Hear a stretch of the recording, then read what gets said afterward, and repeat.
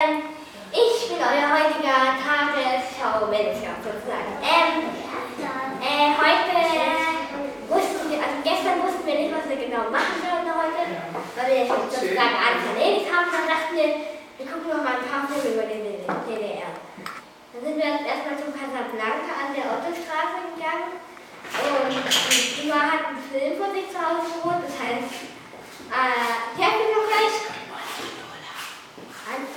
Adula. Adula. Adula. Und äh, der reist halt mit seinem Hund in, so- in so einer aufblasbaren Rakete. Sei leise, Mann. Kohlensäure füllen lassen kann.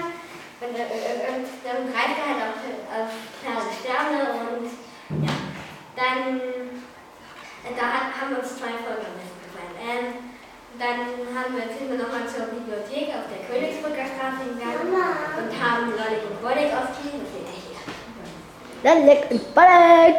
Dann haben wir das alles noch ein bisschen ausgewählt und wir alles klein war so und ja, tschüssi!